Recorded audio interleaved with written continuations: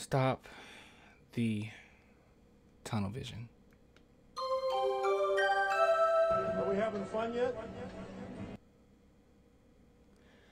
Okay, all right, here we go again. We got to talk about the San Antonio Spurs. Okay, dude, I, I, am getting so tired of losing these extraordinarily close games. As you can see here, once again, we're in a situation in which we're going against a pretty decent team. They're 5 and 3 now, and we lost by one. And it seems like every single game, there's a new way that we find a way to lose. And I'm going to talk about why I think we lost this game and what we really need to improve. So, right off the bat, I'm going to go ahead and mention this right now. Way too much tunnel vision. And I'm not even necessarily talking about DeJounte. DeJounte missed uh, Devin Vassell a couple times, but DeJounte's doing so much, bro. It's it's only so much I can put on him. I mean, he's getting near triple doubles. It's like... It, what else can he do? You know what I mean? Like he's doing the intangibles, he's doing his thing. I feel like Derek White did well. But I want to talk about Keldon Johnson, okay? Because Keldon Johnson took it just as many shots as DeJounte Murray. And Keldon Johnson is, is a guy that seems to be really trying to take over as that scoring role. And I'm going to have to be honest with you.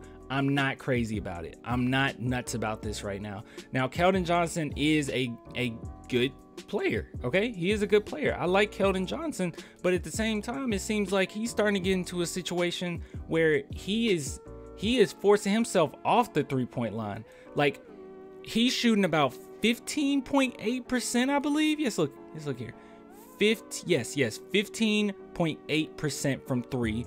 Um, so he doesn't have an outside shot. Teams know he doesn't have an outside shot. And it seems like he's having complete tunnel vision when he gets the ball. He's like, when I get the ball, I'm going to score. And while I like that mentality, it doesn't really benefit the rest of the team because when, when it's all said and done, how we're going to be able to beat these other teams is if we can have the ultimate amount of teamwork. You got to make sure other people are getting hot so the team as a whole gets hot. It can't just be Keldon. It can't just be DeJounte. We're not going to be able to keep this up. These two players are not necessarily stars. They're not superstars. No one on our team right now is stars. They have the capability of being that, but none of them are. It's a bunch of role players, which is fine, but that means you have to play extraordinarily efficient. And with that being said, I've seen plenty of plays with Keldon Johnson where he's had an open guy, they close in on him, and they know he's just going to try to score. And while he can do that, while he's capable of doing that, it doesn't give us too much utility when it's all said and done late in games if we really need a big shot. Now, I know that we can sit here and we can blame the free throw shooting, which the free throw shooting was bad at the end of the game. Okay, we, we missed one. Okay, we, we missed the three point. That, yeah, it kind of hurt us.